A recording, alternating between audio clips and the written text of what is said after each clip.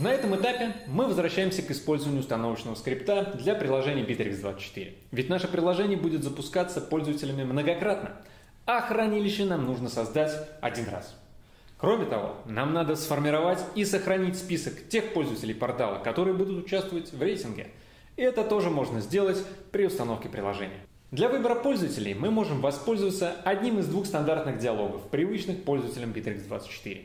Первый метод возвращает идентификатор и имя лишь одного пользователя. Второй метод позволяет сразу получить список. В нашем примере я предпочел использовать второй вариант. Давайте создадим установочный файл нашего приложения. Как вы помните, для приложений первого типа он должен называться install.html и находиться в корневом каталоге приложения. Не существует никаких специфических требований к его верстке. Это обычный HTML-файл. Важно только, чтобы его скриптовая часть выполняла нужные нам задачи. Прежде чем мы приступим к созданию хранилищ, хочется продемонстрировать вам еще один важный аспект разработки, связанный с особенностями работы внутри фрейма. Давайте создадим кнопку, при помощи которой наше приложение будет добавлять пользователей портала в список участников рейтинга. И создадим для этого нужный метод addRatingUserRow, который пока что будет содержать отладочный код. Как вы видите, мы пока что просто добавляем новую строку в нашу таблицу со списком пользователей, не обращаясь к REST Для того, чтобы наш install HTML отработал, нам придется удалить текущую версию приложения и добавить приложение заново.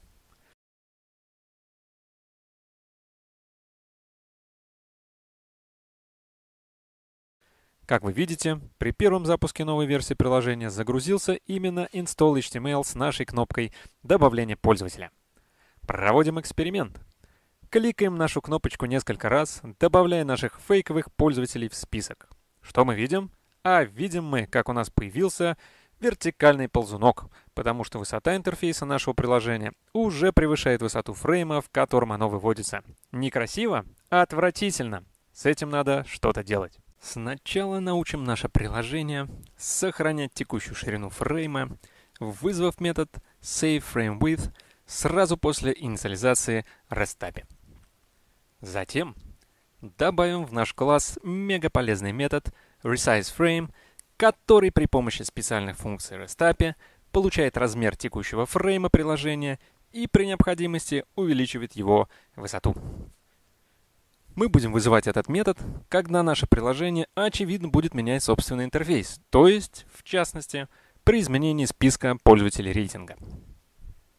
Теперь можно погружаться в технические вопросы выбора пользователей портала, создания наших хранилищ и сохранения данных внутри этих хранилищ. Во-первых, напишем метод добавления пользователей addRatingUsers при помощи вызова стандартного диалога. Получив список идентификаторов пользователей, мы добавляем их в список и вызываем для каждого метод addRatingUserRow, который выводит имя каждого нового пользователя в интерфейсе. В конце мы вызываем метод checkSaving, смысл которого сводится к простым операциям. Он выводит или прячет кнопки сохранения текущего списка пользователей, а заодно и подгоняет размер нашего фрейма. Идем дальше. При нажатии на кнопку сохранения вызывается метод FinishInstallation — который, собственно, и создает нужное нам хранилище.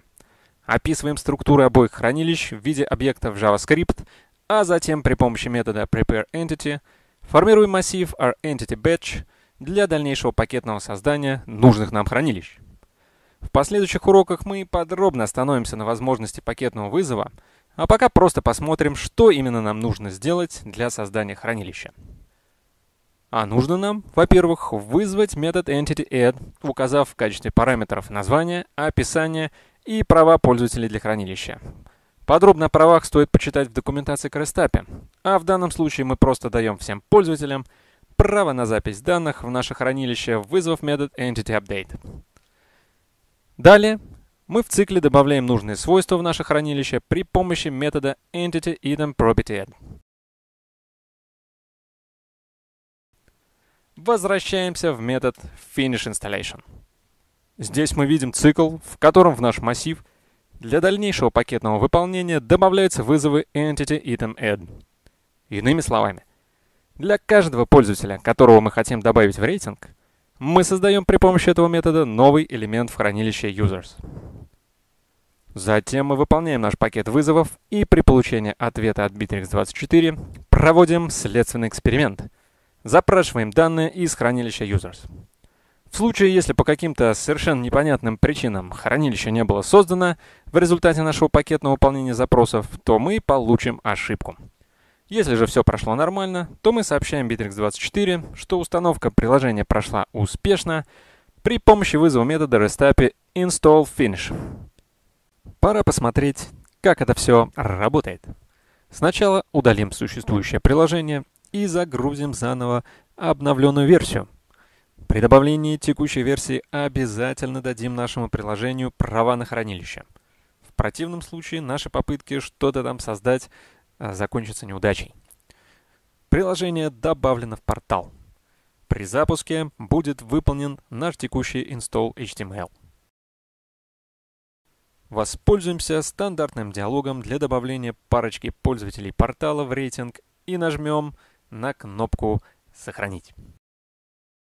Установка приложения прошла успешно. Bittrex24 загружает индекс HTML, который у нас пока не был изменен для вывода пользователей рейтинга. Мы займемся этим вопросом в следующем видеоуроке. Пора подвести промежуточные итоги. Во втором уроке мы подключили в наше приложение стандартную JavaScript библиотеку для работы с REST Выяснили механизм работы со списочными методами. Начали решать вопросы улучшения производительности, создав хранилище для промежуточных данных, воспользовались стандартным диалогом для выбора пользователей портала и заодно создали установщик для нашего приложения. В следующих уроках мы продолжим погружение в разработку. Жду вас. До новых встреч!